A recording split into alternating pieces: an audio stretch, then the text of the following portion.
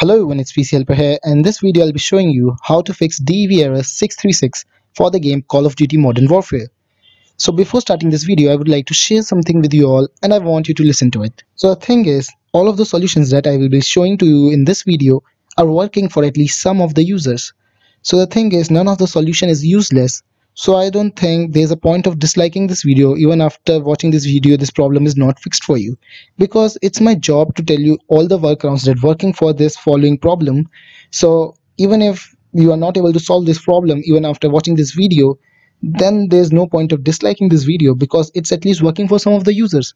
And I'm just doing my job. So I hope you understand. And the second thing that I would like to mention is I will be making many videos about Dev error codes and I will be making different videos on each of the error code. But the content of all of the videos will almost be the same. There will be only slight changes in these videos. And the reason that I'll be doing that is because when a user search for a specific error code, they get result for the videos matching that specific name.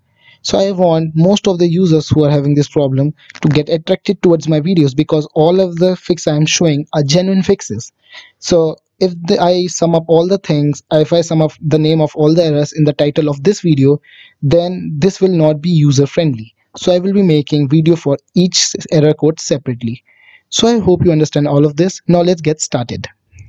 So the first workaround is clean booting your PC. And it's really important to clean boot your PC because clean booting refreshes your PC and closes all the unnecessary apps that are running in the background and cannot be closed manually. So if you don't know how to clean boot your PC, it's really simple. I've made a separate 2 minute 45 seconds guide and I will be providing you the link of this video in the description of this video. And this is a really nice guide, a quick one. As you can see, like dislike ratio is pretty nice on this video. So just watch this video, clean boot your PC, then follow further steps. So that's it for the first step. Now the second step is also a really important one. I saw this workaround on Reddit forums. As you can see, I have opened all the Reddit forums here. I went through all these forums and was searching for a probable fix for this problem and I found this solution here. So all you have to do is select all the files, files selected in this image. I will provide you this image through this link in the description of this video so you can watch what all files to select here. Just select all these files and delete them from your Call of Duty Modern Warfare directory. And then all you have to do is just go to your battle.net as you can see this is battle.net you might be you must be playing your game with the help of this only. So just go to a battle.net and scan and repair your game. So this time when you will scan and repair it will see that these files are missing from your game and it will re-download them. And the reason that we want to re-download all these files is because this error generally appears when some of these files are either corrupted or partially downloaded. So just download these files again and then try running your game and now most probably your game will work fine. And one thing more make sure that you run battle.net as an administrator. Just right click on it and run it as an administrator. So that's it for the second workaround.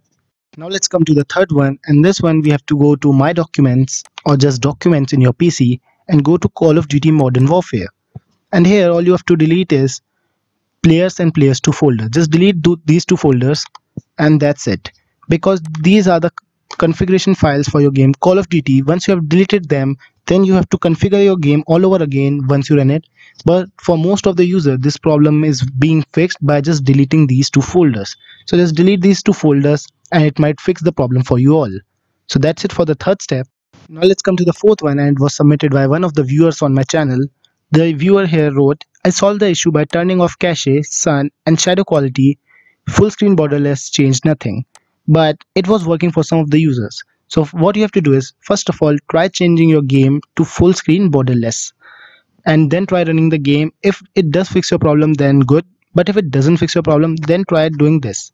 Turn off your cache, sun and shadow quality because it's verified because it was working for this user and also this user as you can see this user has also comment, commented absolute legend thanks so just try doing it. It's working for two of them. So i hope it works for you too. Now let's come to the fifth one. To the fifth workaround. This is a really general one so a lot of users don't believe it actually works but this is the one that actually worked for me when i was facing this problem. So this was also posted by one of the users on my channel. He wrote that's what helped me. Thankfully, Microsoft has already released an update that fixed the problem mentioned about. But who knows, there might still be some users who have not updated their Windows since then out of fear and are still facing performance issues. It was confirmed by this user here. He wrote, Windows Update Boys. I wrote, can you please confirm updating Windows is working? he wrote this worked for me but it seems there are a lot different solutions to same issues have had no crash after i updated with a new key. So all you have to do is just go to your start menu here go to your settings wait for it to load and then go to update and security. Once you are here wait for it to load. Uh, it's taking a lot of time because my screen recorder is on, on right now. And here as you can see I am also having an update. You you can also check for more updates if you're having one and then download them restart your PC and then most probably your problem will be fixed. And now the last thing is I read one of these things on one of the Reddit forums. I can find it right now but the thing is if you paused your game's installation or downloading if you paused your downloading or installation of this game at any point of time then you have to reinstall the game all over again. There is a bug with this game that do doesn't allow you to play the game if you have paused it while downloading or installing so i'm sorry to tell you but you have to reinstall the game all over again. I know it's a lot of gbs more than 100 but still you have to download it all over again. So i hope you found this video helpful. And if you found this video helpful please hit the like button below. And also don't forget to subscribe for more gaming content. Thank you and have a nice day